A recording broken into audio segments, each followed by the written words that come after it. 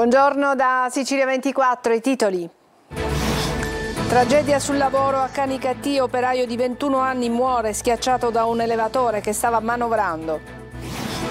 Bimbo morto nel pozzo a Palazzola Creide, aperta un'inchiesta, indagati per omicidio colposo il proprietario del terreno e gli educatori. Ha risposto al GIP ma ha negato la premeditazione. L'uomo accusato di aver ucciso il rivale in amore a Mascali. Al vaglio degli investigatori il contenuto dei telefonini della vittima e dell'assassino. A Messina torna l'incubo sete, acqua razionata con turni di tre ore di distribuzione in tutti i quartieri. Aggressioni in pieno centro a Palermo, il prefetto dispone più controlli e presidi fissi delle forze dell'ordine per una movida più sicura. 20 anni fa nasceva a Palermo l'associazione Addio Pizzo, i manifesti di stati a lutto e la rivolta dei commercianti, una mostra per ricordare il risveglio della città. Sharon Stone e Nicolas Cage tra le star al Teatro Antico di Taormina nella settantesima edizione del Film Festival, diretto da Marco Müller.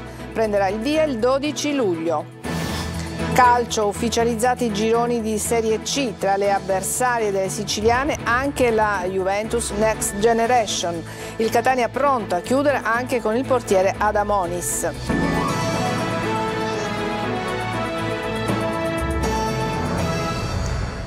Bentrovati, apriamo questa edizione con una nuova tragedia sul lavoro. A soli tre giorni dalla sciagura di Campo Felice di Roccello, altro tragico incidente sul lavoro. A perdere la vita questa mattina in via Vittorio Emanuele a Canicattì un operaio di 21 anni, Angelo Giardina, morto all'interno di un'azienda di materiale edile schiacciato da un muletto che stava manovrando. La Procura ha aperto un'inchiesta e sta eh, vagliando la posizione del lavoratore. Davide Sarto.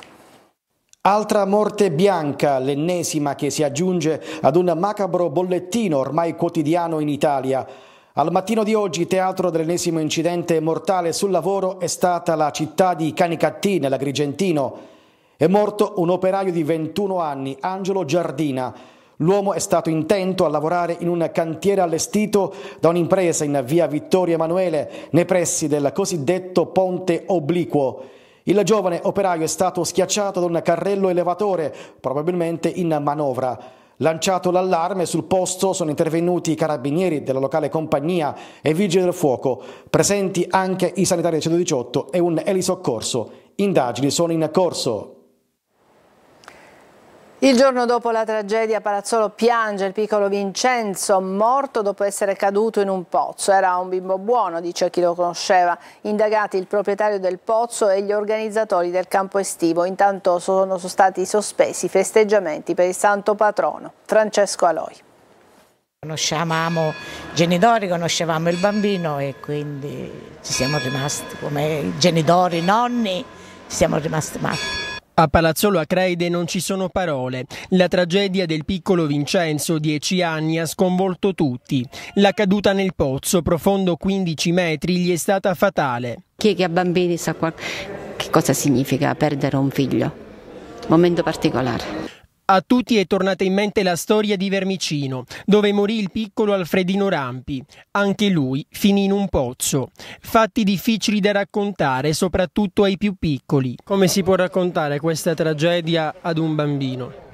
Eh, infatti prima mio figlio Giuseppe mi chiedeva e eh, le parole da dire sono eh, che sono cose purtroppo che succedono nella vita. Eh, e non si ci può fare niente. Luminari e drappi ricordano che qui si era in festa per il santo patrono. La morte del piccolo però ha decisamente cambiato atmosfera. Quello che noi potevamo fare anzitutto è quello di sospendere la festa. Per le vie del centro non si parla d'altro, dal vivo ma anche al telefono.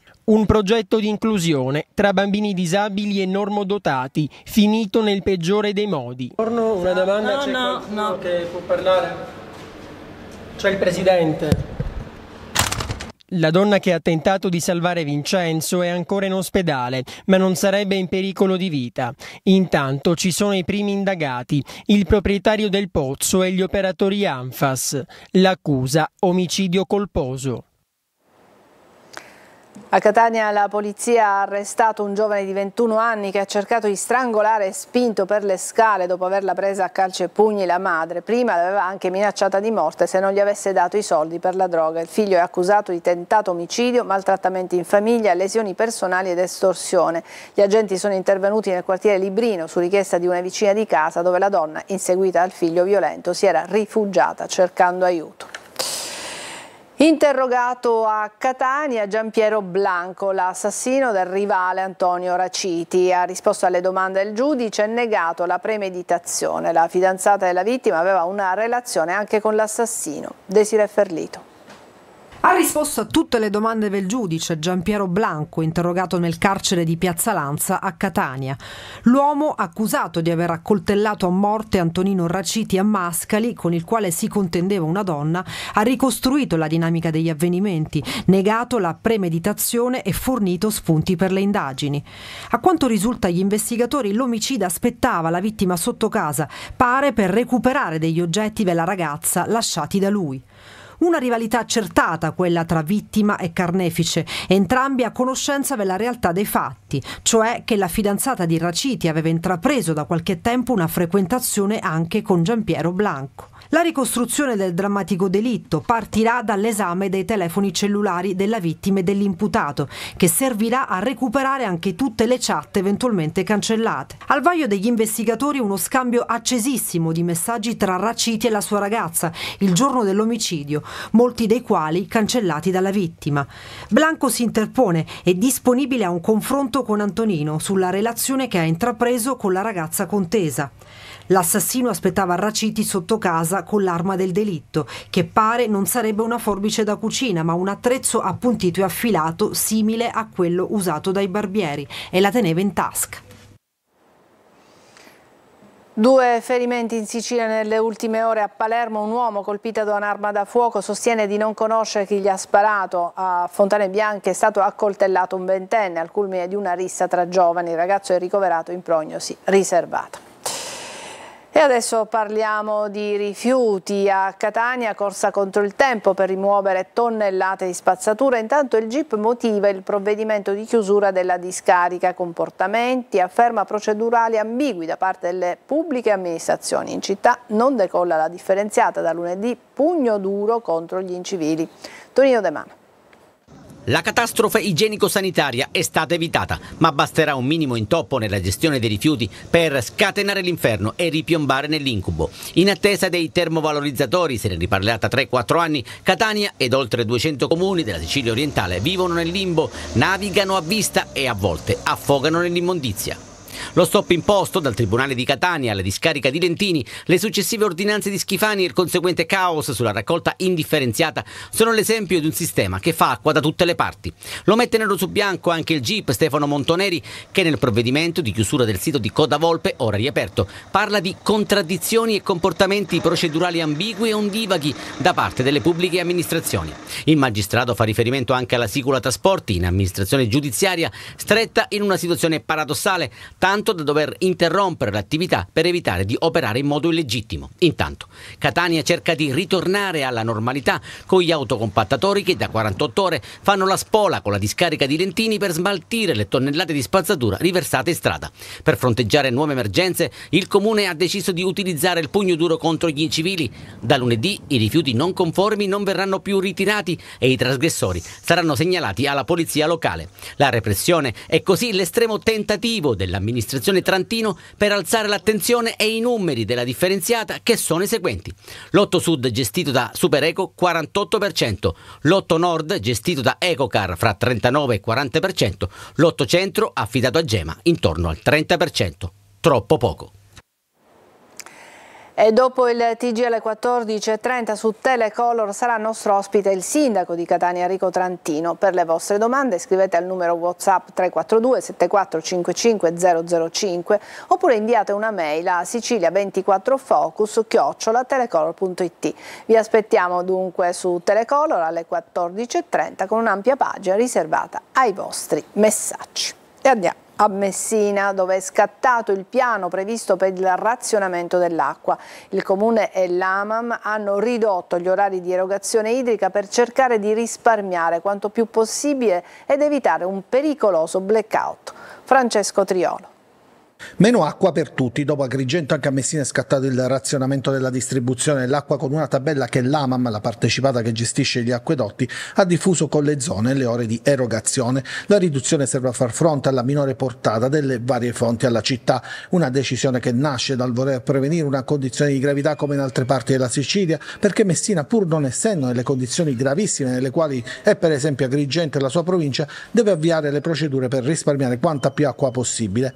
Il sindaco sindaco Basile si è affidato ai cittadini e ad un uso responsabile, meno acqua un po' per tutti per evitare che si arrivi al blackout idrico. In alcuni rioni, Castanea, Giostra, Via Palermo e Annunziata, arriverà solo per 3 o 4 ore, a 5 ore o 5 ore e mezza arrivano invece molte zone popolose come il CEP, Villaggio Unra, Minissale e Contessa Sud con una riduzione di 2 ore. La riduzione di portata più preoccupante è quella legata all'acquedotto della Santissima che è passato da poter erogare 200 litri al secondo in inverno e 150 in in estate agli attuali 100. Anche i pozzi cittadini hanno avuto riduzioni del 30-40%, ma è la portata del fiume Freddo a preoccupare maggiormente calata del 60%. Amam ha chiesto alla Regione di poter avere l'autorizzazione a poter abbassare il punto di pompaggio di qualche metro per avere maggiori margini.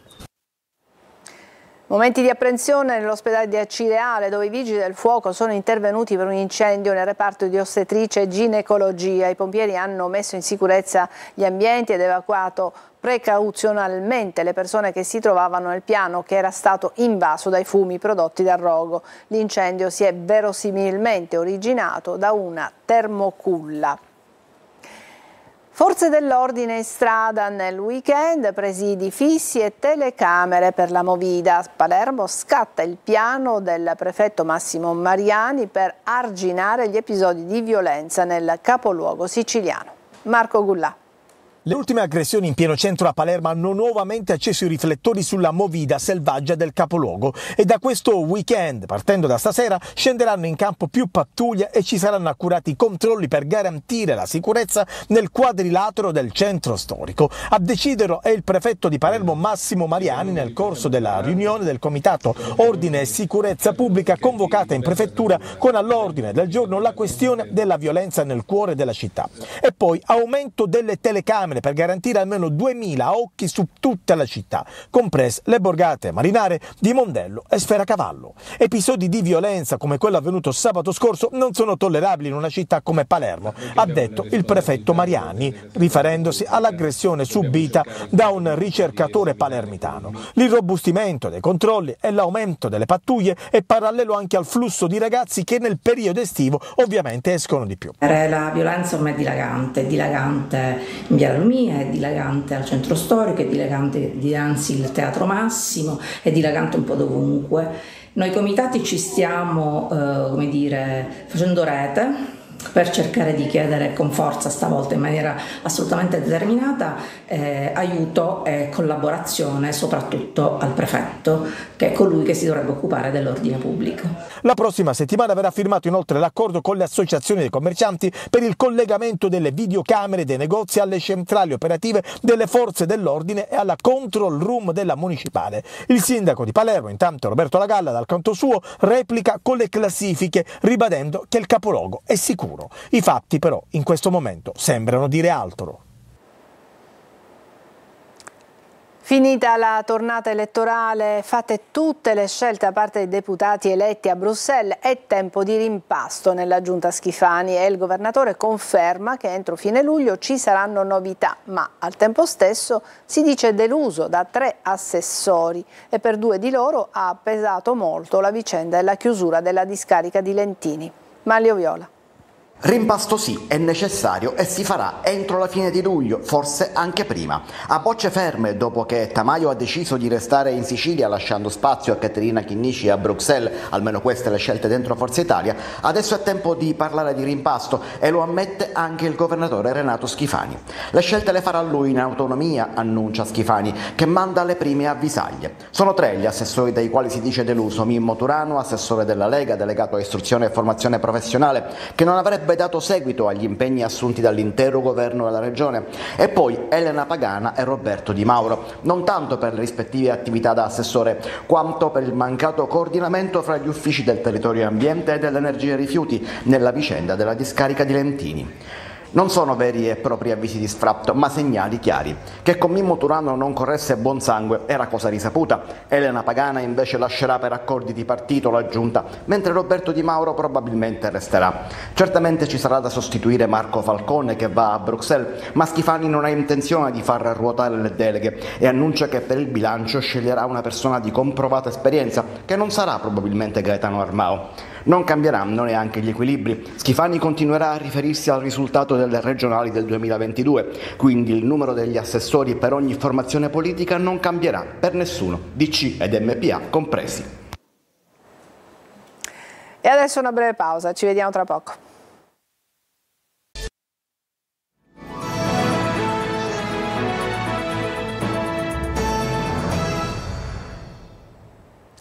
I manifesti listati a lutto e la rivolta dei commercianti. Addio Pizzo compie vent'anni e realizza una mostra per festeggiare e ricordare il giorno in cui la città si svegliò tappezzata di volantini. Da allora l'associazione ha sostenuto decine di imprenditori che hanno smesso di subire le vessazioni di Cosa Nostra in silenzio e hanno deciso di denunciare. Marco Gullà.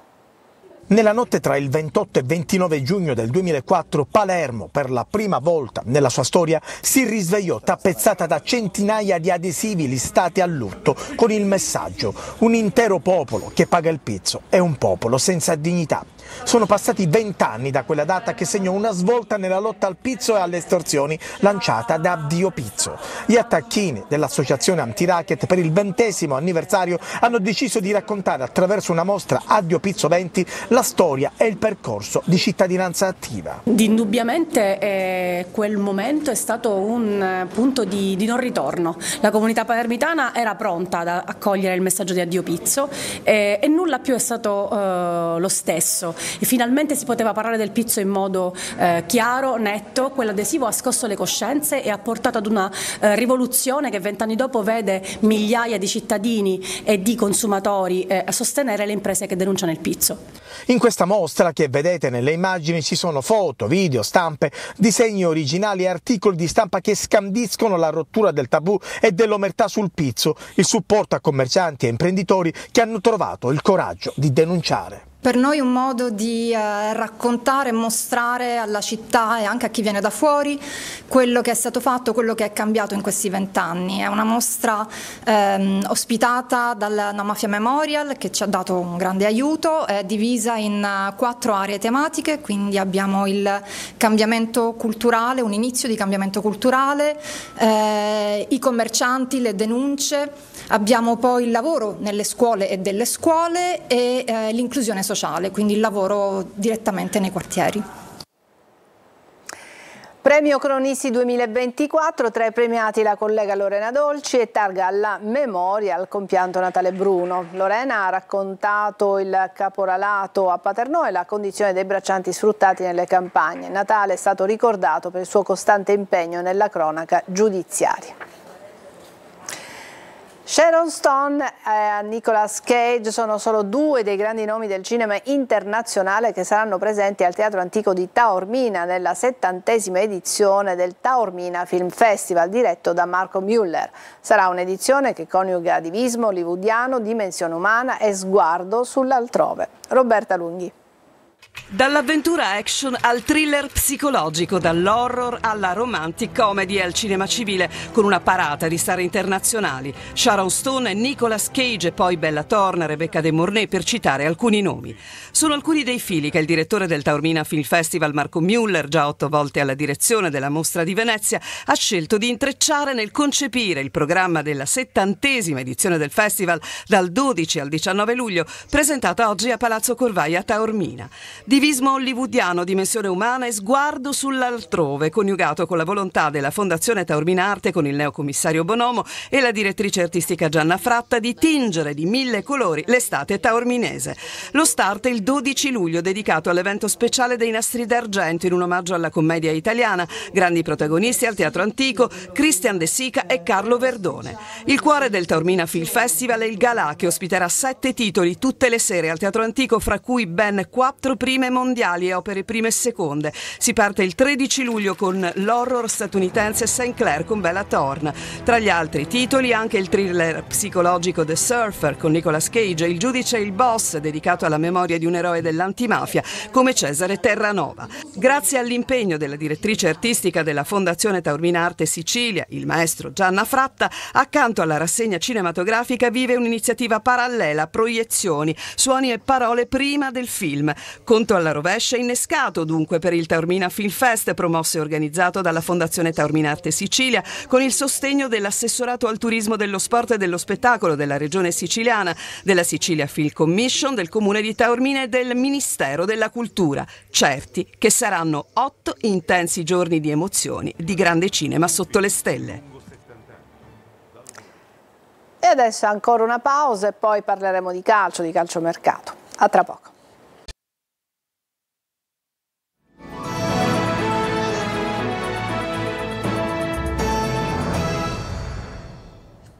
Ed eccoci al calcio, ufficiali gironi della prossima Serie C, nel gruppo meridionale ci sarà la Juventus Next Generation per il mercato in casa Catania dopo Carpani, in arrivo il portiere Adamonis. Sentiamo Marco Carli.